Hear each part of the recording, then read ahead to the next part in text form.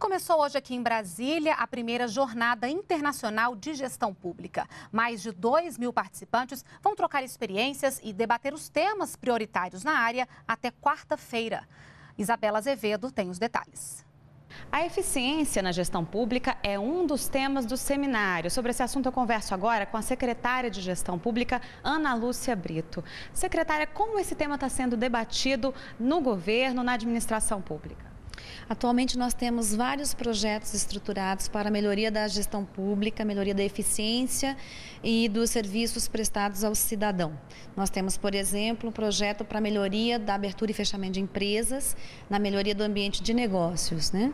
Temos também Porto Sem Papel e vários outros projetos. Para a melhoria do atendimento ao cidadão, nós temos também iniciativas bastante significativas na área da saúde, da previdência e é, essa agenda comum de gestão pública com estados e municípios que são grandes executores das políticas públicas do governo federal. Além de servidores públicos federais, estaduais e municipais que estão participando do evento, existem vários representantes estrangeiros que trabalham com a questão da gestão pública. O que, que eles podem aprender em relação ao Brasil? Qual um caso de sucesso que o Brasil poderia ensinar?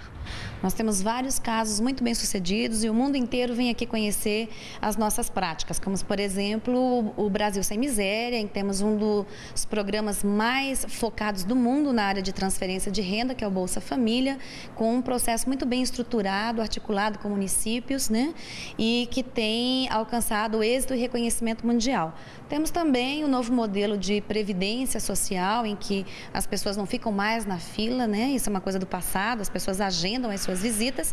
E temos também a nossa urna eletrônica, que é mundialmente reconhecido como um dos melhores processos do mundo na área da, da, das eleições, né? Todos esses casos de sucesso dando mais agilidade ao governo e à administração pública, não é isso? Exatamente. Essas práticas serão disseminadas, debatidas e a ideia é que outros processos no âmbito da gestão pública possam aprender dessas práticas e também possam alcançar esse nível de efetividade de sucesso. E a intenção é que esse seminário, essa jornada aconteça anualmente?